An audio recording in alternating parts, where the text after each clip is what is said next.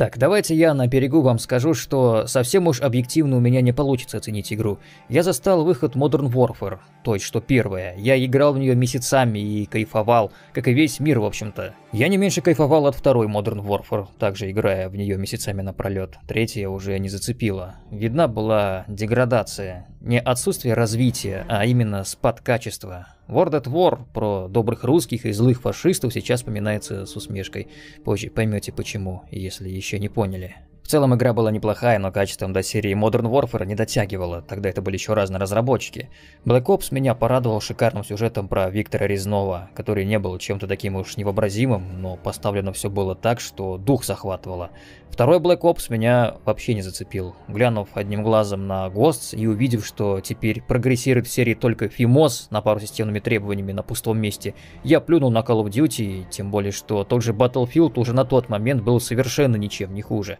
Время шло, а конвейер и не думал останавливаться. Advanced Warfare, Black Ops 3, Infinity Warfare, World War 2, Black Ops 4 и вот новоявленный Modern Warfare. От чего начали, тем на данный момент пока что закончили.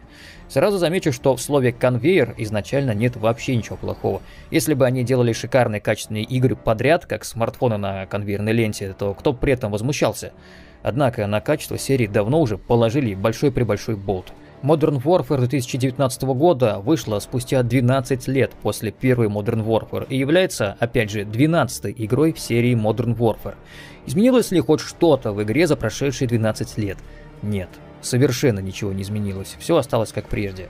Каждая игра представляет из себя постановочный тир, шикарное развлечение. Проблема в том, что если поначалу это ново, то потом приедается – а без хоть какой-то прогрессии это уже начинает вызывать отторжение. При анонсе каждой новой части разработчики уверяют нас о новом движке. Да, вот так вот. По их заверениям, они каждой игре делали новый движок.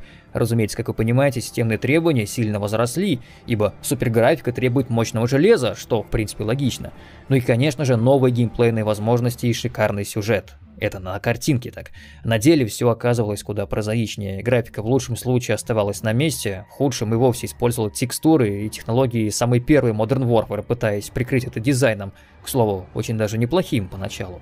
Новый движок? Да. Ну вы знаете, ох уж мне эти новые движки, когда копируется все, начиная от корневой механики, заканчивая анимационными рельсами, протоколами взаимодействия и даже багами.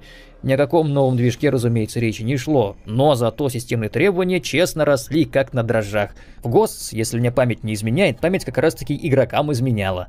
В том смысле, что из заявленного количества игра использовала максимум половину, но отказывалась запускаться, если того самого заявленного количества не было на борту вашего бога машины. Новый сюжет, как правило, представлял из себя очередных злых русских, которые прям как вши их изводишь, изводишь, побеждает нас, побеждает, а мы все лезем и лезем, все захватываем вокруг да взрываем, всем вредим, и никто нас не усмирит, кроме капитана Прайса, конечно. Вот разве что про новые возможности, так сказать.